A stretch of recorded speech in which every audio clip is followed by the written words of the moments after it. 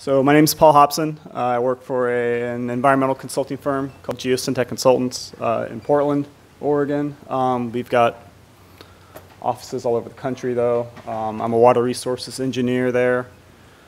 Um, just very briefly, uh, I'm not a trained programmer. I'm a civil engineer. Uh, I learned MATLAB in college, uh, and um, Matplotlib got me into Python. So here I am. This is my first SciPy. Uh, everything's been great.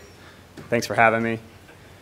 Uh, so this talks about uh, PyGridGen and PyGrid tools, uh, and we'll talk about those a little more detail, but sort of the underlying theme here is um, the fact that these came to be as a successful, I believe, collaboration between the private sector, uh, academia, and the open source community. Um, I don't like to waste too much time on telling you what I'm about to tell you, but uh, I will acknowledge uh, the key players who made this happen. Um, I'll, I'll, skip the personal background. Um, you've already got enough of that. And I'll go straight to the topical background, and then we'll talk about sort of the foundation, the abstraction, the community, and the enhancements to these tools.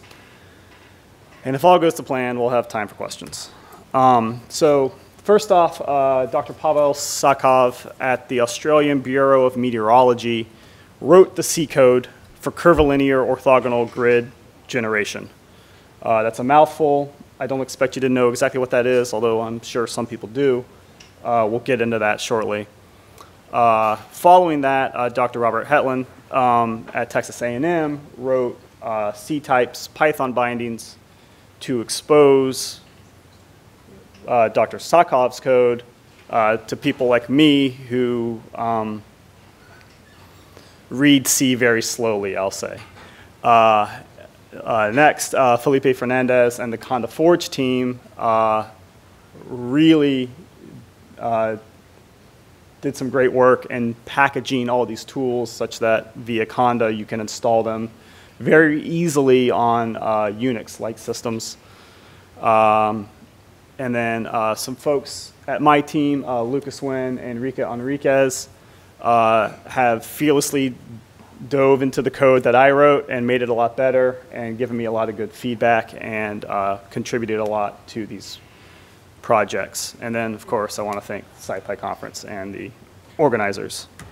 So here is a curvilinear orthogonal grid that I generated uh, to model um, a small creek in very, very, very northeast Washington state. Uh, you're almost in Canada and you're almost in Idaho when you're at Su Sullivan Creek.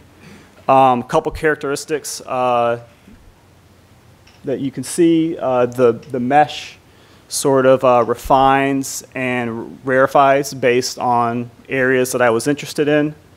Um, there's islands within the grid. And of course, the grid curves to follow the natural morphology of the river. Um, and these are all very important uh, in my work, uh, hydro, uh, running uh, hydrodynamic models uh, to answer questions about sediment transport, pollutant transport, and just basic hydrodynamics, conservation of momentum, things like that. Um, I don't want to spend a whole lot of time on this, but this is just some basic vocabulary that I'm going to use when I talk about grids. Uh, the boundary of the domain is the polygon enclosing the generated grid. Uh, there is this concept of a turning point, and those are uh, points on the boundary that either work to close or open up side channels in your domain. Uh, we'll talk more about that in a second. Uh, a node or a vertex, uh, those are the actual that's sort of the output. That those are the components of the grid uh, where these points get placed within your domain. The shape's just your, your number of nodes uh, in each direction, much like a NumPy array has a shape. Grids have a shape. A cell is a quadrilateral defined by four adjacent points within your grid, and then you have a centroid of a cell. So here's uh, two little rectangles right next to each other and I generated a grid in both of them. Uh, however, uh, I defined the turning points differently. And so the, the bright green points are positive turning points, and they work to close the grid. And as you see, if I don't tell the grid tool, anything about um, the rectangle on the right-hand side, it, it can't work its way in there. The numerical uh, scheme can't traverse that part of the boundary too well to get grids in there. So I used two negative turning points at the start of that side channel and then closed them again at the end, and now, and now the grid tool knows to work into that side channel. What, what this demonstrates is that the, the sum of your turning points valued between, well, I think strictly speaking, they can be valued anything, but the sum of all your grid of your turning points needs to be four. And if you think about it, four corners in a polygon or in a quadrilateral. Um, and so here we have four uh, minus two plus two is four. And so that worked out. So that just demonstrated what I meant by turning points. Um, so I'm not an expert on the mathematics of uh, grid generation. Uh, differential equations was probably the hardest class for me in college. Um, and that's probably not going to change anytime soon. um, but uh, the, when I read through the C source code, uh, this numerical conformal mapping comes up a lot. Uh, and uh, the code is based from what I can tell, on two papers, one from 1998 on the cross ratio and Delaunay tri triangulation scheme for generating the grid. And then um, Delaunay triangulation, I think, is pretty well known, even if I don't quite understand exactly how it works. Uh, but it also uses uh, Schwarz-Christoffel transformations, which were described in a 1980 paper uh, in the Journal of Science and St statistical computation. And then uh, it uses some partial differ differ differential equation solvers, namely Broyden's method. Uh, you throw that into a big pile of compi compiled C, and you get grids. Uh, yes? I'm going to get there. Um, so hopefully I answer that question. If I don't, yell at me. Uh, so uh, like I mentioned, Dr. Sakov wrote these four foundational libraries. Uh, two of them are for interpolating data onto the grid once you've generated it, but you kind of need it to get the grid generator to work. And then there's the grid generating library and a utility library to work with those grids. Uh, they're pretty tricky to compile. And th this is kind of where the community starts to come in. Uh, it probably took me about two weeks. I'm, I'm not good with compiling C sources, but it took me about two weeks to find the right incanta incantations of configure and then editing the output of that configure command and then holding my mouth right as I typed make and make lib. And eventually I got to work and I got to compile. Um, and I generated a very simple grid for a project just from the command line. And um, we ran a model and it worked and we were all very, very happy. Uh, but you do have to call that executable from the terminal, which um, working with a bunch of civil engineers isn't always um, a good option. Uh, the input file for that command line looks something like this, where you give it an input file, this xy.o. the extension doesn't matter, um, but that's a, um, a space delimited file of your x coordinates, your y coordinates, and the, turn, the value of your turning points. Um, and then you tell it what to output the data to. You, this nx and ny parameters are the shapes of your grid. And the remaining parameters are um, prescribed in the source code. Um, I've tweaked with them and I've noticed the shapes of the grids change slightly, but not dramatically. They mostly speed up or slow down the computation as to how refined the, the solver is going to be. And the, this rectangle and sigma files uh, are intermediate computations that are cached. And then um, if you regenerate the grid, it can use those so, so long as your boundary didn't change, it, it can speed things up. So um, that grid generated something that looks like this. Uh, you can see I've got two, well, I don't, this is an example from the C source code. This is an estuary system. You got some side channels, you got a marsh in the middle, and then it dumps out into the ocean. Um, this is a very practical example. This is some, a lot like something I would use. There are also in the C sources some very uh, artistic examples. Um, and the circle is particularly interesting to me because the turning points are valued at 0.33333333. So he didn't use whole numbers and then you, you still add up to one and you get this cool shape. Uh, so moving on to the Python part of this, uh, like I mentioned, uh, Dr. Hetland uh, used uh, C types to make some Python bindings. Uh, he vendored the C sources with the source code and included some build instructions. Um, uh, once I found this, my whole world opened up. And one, just because I got to use Python and I could sort of iterate in a notebook a little bit faster, and that's good. Um, it, it, still had the problem that uh, Leonardo alluded to, where distributing compiled sources with Python is really hard. Um, there's no way around that. Or there was no way around that until Conda kind of came around. Um, but he also included uh, some interactive uh, grid boundary creation tools via matplotlib that were pretty uh, handy. And uh, he exposed an API to utilize focus. And um, with the work that I do with numerical modeling, specifically, maybe I'm curious about a stormwater discharge into a river, being able to focus the grid on certain areas is really useful. And so here's an example of what that looks like. Um, kind of a similar setup, just sort of two rectangles, one protruding from the other.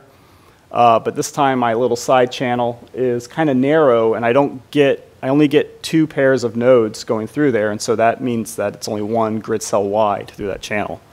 Uh, but maybe I need a little more detail in that channel, so I just add focus, and now I get four sets of nodes, therefore three grid cells. Uh, here's another example where you can sort of add just to demonstrate that you can add focus in both directions along the grid.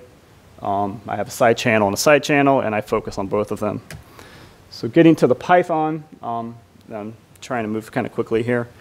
Um, uh, it kind of looks like this. You get to use your NumPy arrays. I think we all know them. We, maybe we don't love them, but we all know them. I love them. Uh, but uh, so yeah, you just define your x, y, and your beta. Beta is the turning point value. Um, you create a focus object. You add focus to that uh, in different directions. Uh, and then, you know, there's some parameters of that, you know, the factor as to how much you want to focus, and then the extent to which that focus should spread across your grid, and then you do pygridgen.gridgen, and you give it all that information. And like I said, you end up with a pretty cool grid. Um, so let's go to the community. Um, like I said, this was hard to compile as it was, hard to bundle compiled sources with Python libraries. Um, and I had the feeling, although I can't really say this, but at least within my organization, there was increasing demand for this kind of stuff.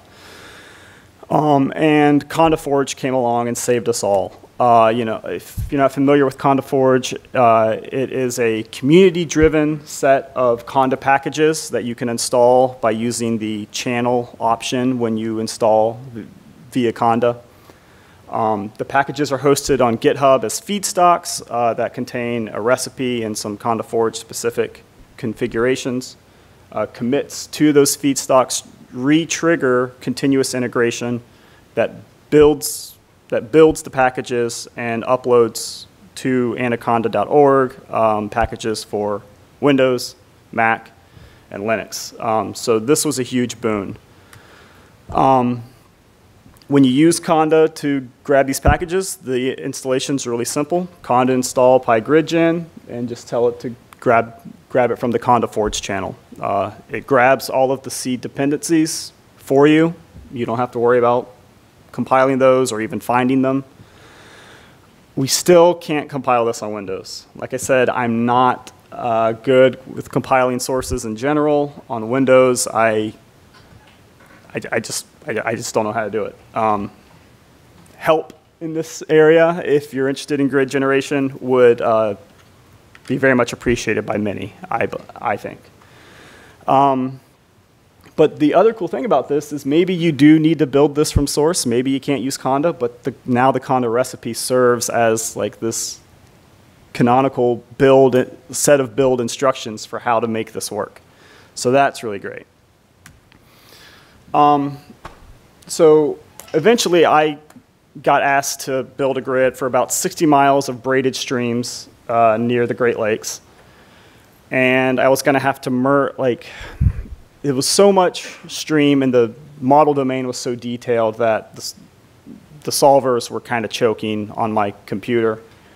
And so I was going to need to merge a bunch of different grids that I generated separately, and um, I had to do a lot of crazy things with that focus per per parameter that I was using.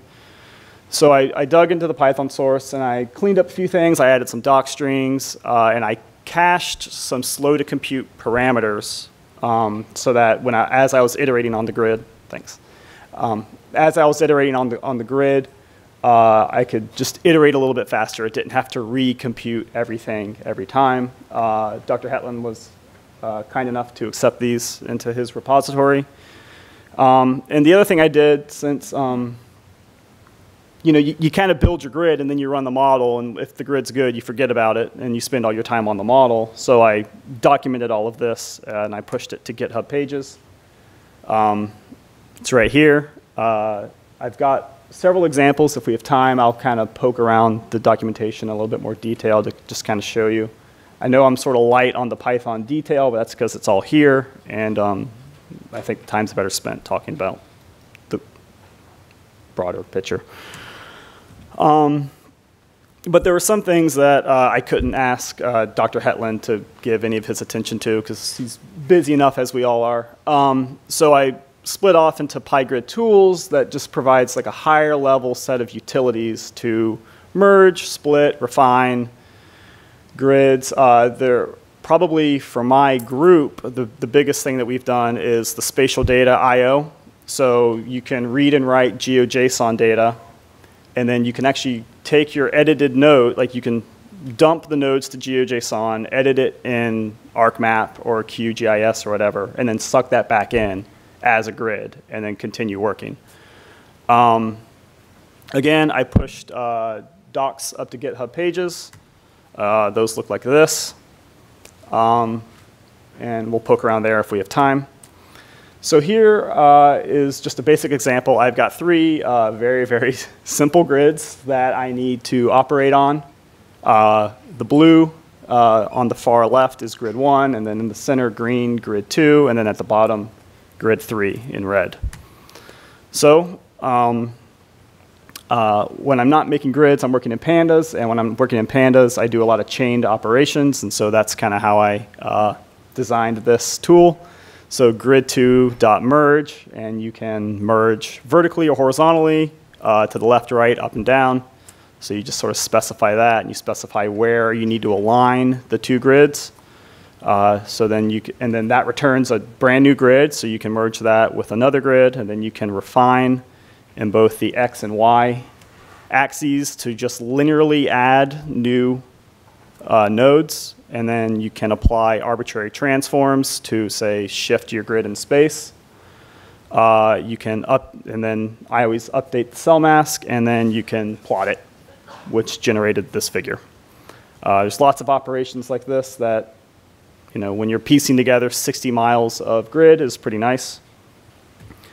Uh, masking is also kind of a big deal for us because we deal, like I said, I was dealing with braided streams. Um, so if, if the green here is an island, a very simple geometric island, uh, you can mask inside the island or you can mask outside the island, depending on what you actually need to do. Um, you can also mask based on the number of nodes that are covered by the mask or based on the centroids. Uh, but that's, that's kind of getting into the weeds. So let's go back to Sullivan Creek. Uh, here's the data I started with. I had a shapefile of the riverbank, which is sort of the inner hollow polygon. I then, uh, by hand in GIS, drew um, the grid domain. Thank you. Um, uh, from there, uh, I decided what my grid shape was going to be. I added some focus to it, and I generated the grid uh, using my PyGrid tool API wrapper around PyGrid Gen. You can go either way. Um, from there, I masked cells with polygons. Uh, first, I fed it the river, which was just a data frame. Uh, and I said inside is false, meaning so everything outside the river needs to be masked because it's always dry. And then I took the islands and I masked inside those polygons. And then we ended up with that first shape that you saw. Um, and just to prove that this isn't all uh, numerical computation navel gazing, we ran a model through this grid and we designed a stream restoration program. And he, uh, I'm not in this photo, but uh, I took this photo in the field where we installed boulders next to a groundwater treatment barrier wall to protect it, and also inserted some inverted root wads uh, to provide habitat for endangered salmon. Um, in addition, we've got some pretty cool plotting on top of it that isn't fully integrated into the um, code on GitHub yet, but we're working here. Here's some streamlines projected onto the grid. Uh, taking a page from Kristen Thyng's uh, uh, model output, we've got a time series of water surface elevation in the bottom. Our red hash indicates where we are in that time series, and then we have data showing for that point in time there. Uh, more eye candy, this is just uh, raw flow speed. Um, this is my sort of roadmap for the tools, but this is a roadmap for any open source library. Uh, uh, clean up and pull in but, uh, the code you have on the side, um, interactive plotting, uh, Ju Jupyter widgets, better docs. Um, I've considered trying to rewrite it in Cython, but I don't know enough about C to work effectively in Cython. And I think SciPy has all of the solvers we need to make this work, but I don't know if I'll be able to find funding to do that. Um, here's where to find me. Uh, I'm on Twitter at pmhobson, GitHub at phobson. Uh, that photos when uh, the field crew only gets one pair of waders, you have to buy the waders for the tallest person. Uh, I'm also sending mixed uh, signals about workplace or worksite uh, visibility and safety uh, with my high vis shirt and my camo waders, but uh, that's what it takes. Um, I think we're out of time.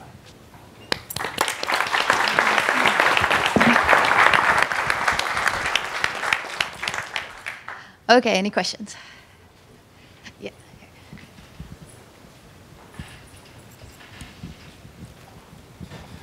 Okay, thank you for the talk. So um, uh, I know that there are many uh, powerful tools like HyperMesh or like ANSYS that are very powerful tools for grid generation and meshing and uh, I mean, you are, um, I mean, basically able to mesh very complicated geometries with these with these tools.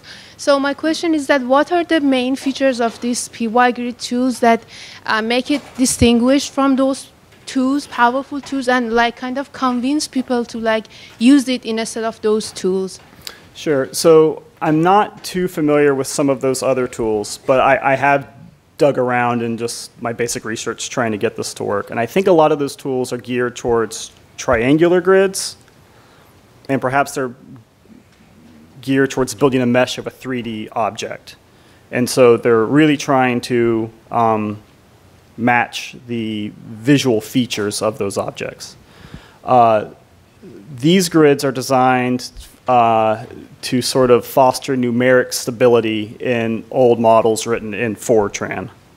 Uh, so as these models are conserving momentum, conserving mass uh, through these orthogonal grid cells, um, you know, there's, it's, it's nuts, but if like your cells are too thin, or too wide or too short, um, the numerical models kind of get un, unstable. You get kind of garbage results.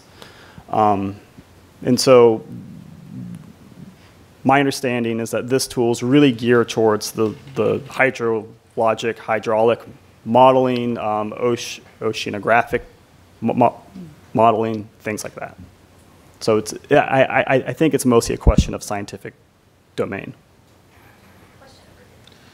Uh, Thank you for the kind words. And I have a quick question. Like, I know that the underlying tools are all geared toward quadrilateral grids, but PyGrid tool, it has a lot of nice functionality that I would love to use, for example, with triangular grids.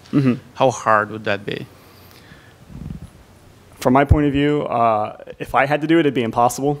Um, I know that there are people out there who could do it, but I'm pretty sure that. I mean, I, I- suppose if you took your nodes and did something crazy with them, you could just say, oh, this is a triangle and this is a triangle that, you know, you, you would basically just be bisecting your rectangular cells. But I, I don't know if that gets, if that solves the problem. Uh, I wish I had a better answer for you, Filipe. Sorry. Uh, what kind of operations can you do with the grids uh, in Python? Uh, can you do things like uh, operate on the nodes or calculate some things in Python, or is it just meant to make the outputs for these other models? So the the the grid object that I wrote is pretty much just a collection of two NumPy uh, masked arrays, um, and it's just grid.x, grid.y, and with two NumPy's array with two NumPy arrays, you can do anything, and all those methods do is apply whatever transformation you're doing to both of those arrays. So with grid.transform, you can just write any function you want, and it'll apply it to both arrays for you. Does that, is that what you mean? Okay.